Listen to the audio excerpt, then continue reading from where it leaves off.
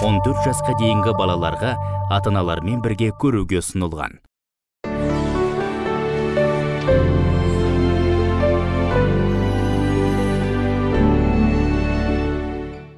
Ассалаумағалейкум көрермен. Құран кәрімде бақара сүресінің 220 аятында алла тағала жетімдерді түзету жақсы тіпті оларды өздеріңе қосып алыңдар. Сонда олар сендердің туыстарың болады делінген.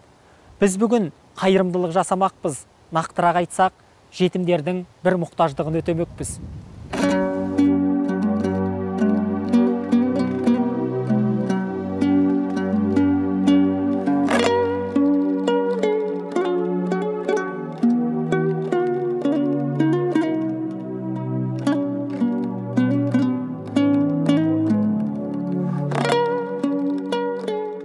Ұлдары бөрікті қыздары көрікті дана қазақтың қарагөз бүлдіршіндерінің балалар үйінде тәрбиеленіп жатқаны рас.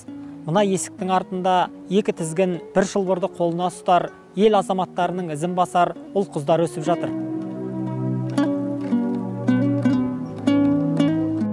Бұл алматы қаласындағы жанұя балалар үйі. Осы мекемеде ата анасының қамқорлығынсыз қалған бүлдіршіндер мен кәмелеттік жасқа енді толатын жас жеткіншектер білім алып тәрбиеленуде.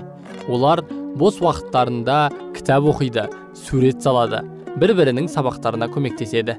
Және де ағаштан әртүрлі бұйымдар жасап қолөнер жұмысымен де айналысады. Тұрмыс тіршілікке қажетті кестелі заттар тоқып көрмелерге қояды. Через четыре петли два раза раз два три. Так? Кеңде жарық ғимарат жылы жер бұның бәрі тәніңді жылытқанмен жабырқаған көңілге демеу болмас. Оларға керегі жан жылуы. Балалар үйіндегі бөбектердің тағдыры қандай? Балақайлар үшін бар жағдай жасалған ба? Оны мекеме басшысынан сұрағанды жөн көрдік. Бүгінгі таңда біздің осы жанұя кешенесінде жетпіс бір жетім бала ата және ата анасының қамқорлығынан айырылған балалар тәрбиеленіп жатыр. Балаларымыз енді денсаулықтарында кішкене ақаулықтар болғандығына қарамастан көптеген жарыстарға республикалық масштабта даже халықаралық деңгейге дейін балаларымыз қатысып сол жүлделі орындарға ие болып жатыр. Бізде әртүрлі кружоктар секциялар жұмыс істейді.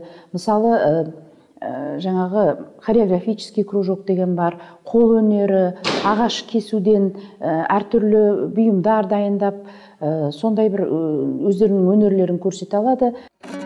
Жалпы жетімдерге жәрдемдесудің сауабы қандай? Имамдарымыз не дейді? Алла тағала құран кәрімде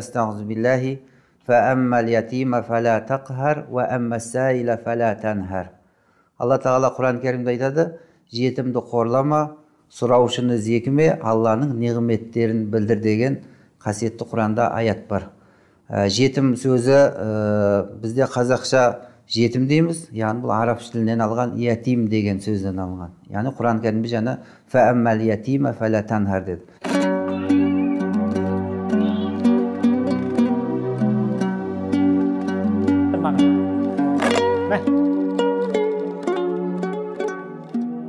құтты қонақ келсе қой егіз табады дейді біздің қазақ. Дәл бүгінгі күні осы мекемеге қаламыздағы мейірімді жандар да ат басын бұрыпты.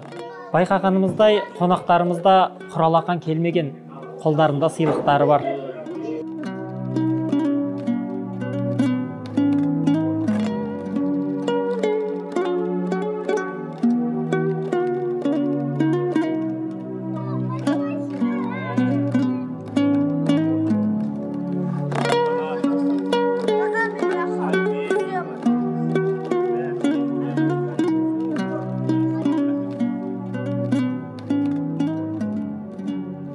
Он екі айдың сұлтаны болған рамазан айдың ә, алла қаласа ішінде тұрмыз.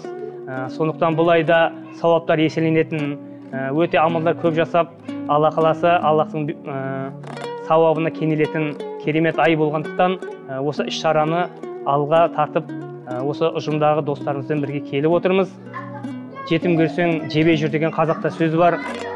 Бұл жерде бір жетімнің көңілін тауып бір мейірімге бөлеп біраз көңілін көтеріп қайтсақ деген ойдамыз.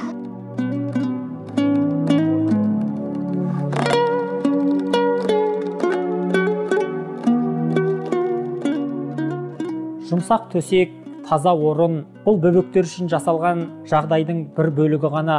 Бұнда балаға қажеттінің бәрі бар.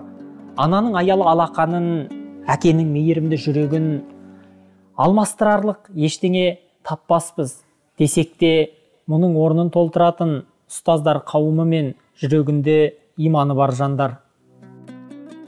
Бұл өмірде баланың қуанышына жетер ештеңе жоқ. Сол себепті де дана халқымыз қуанса бала қуансын деп жатады. Үйге шуақ пен шаттық сыйлайтын балдырғандардың жүзіндегі күлкіні көру біз үшін бір ғанибет. Осы балақайлардың жанарындағы мұңды сейілтпек болған ел азаматтарының бұл игі бастамасы әрі қарай да өз жалғасын табады деген үміттеміз. Бүгін бір игі іс жасадық. Рия үшін емес рамазанда жасалған әрбір іс болашақта өзінің жалғасын табу керек. Біздің қолдан келген іс сіздің де қолдан келеді.